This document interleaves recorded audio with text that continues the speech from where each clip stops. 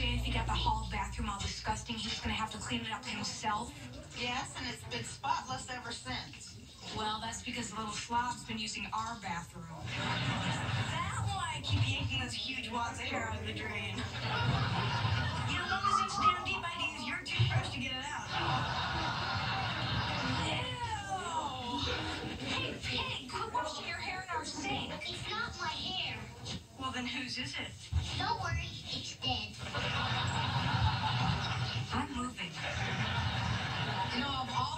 in the world to have as a role model, our kid has to pick Eddie Munster.